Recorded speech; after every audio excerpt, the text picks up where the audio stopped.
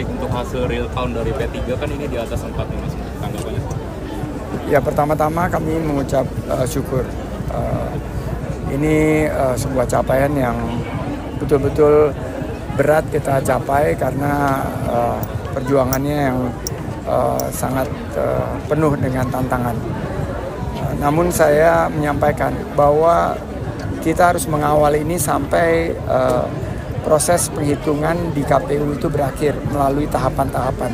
Jangan cepat uh, berpuas diri uh, karena hasil real count-nya seperti itu karena uh, kita telah melihat uh, sinyalemen di bawah suara-suara P3 itu berkurang. Uh, ada 9 dapil yang P3 suaranya berkurang uh, karena satu dan lain hal. Jadi kami uh, langsung menginstruksikan setiap kader dan relawan untuk uh, menjaga suara. Walaupun tidak berpotensi menjadi kursi di DPR RI, tapi kita jaga agar tidak mengurangi persentase yang sudah di atas 4% ini. Kita meyakini jika kita kawal maka P3 akan uh, mendapatkan suara di atas 4% dan akan uh, melanjutkan amanah di Senayan.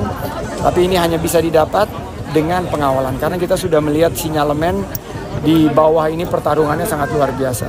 Uh, suara kita bisa turun, bisa berkurang kalau kita tidak jaga. Itu harapan kita dan saya juga berharap para penyelenggara uh, membantu dengan uh, transparan agar masyarakat juga bisa ikut memantau.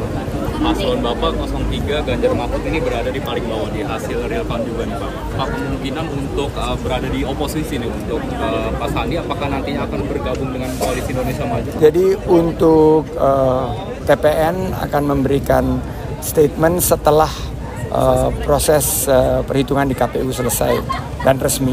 Jadi kita menghormati proses dan tidak ingin mendahului. Itu uh, statement resmi dari TPN.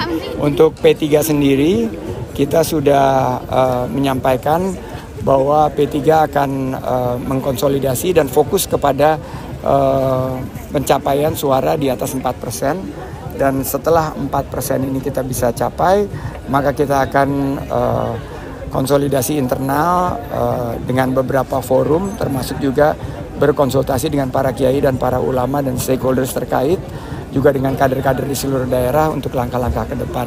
Pak Ketua Umum Pak Mardiono sudah menyampaikan uh, instruksinya dan arahannya ini akan kita kawal sampai nanti perhitungan tahapan di KPU selesai.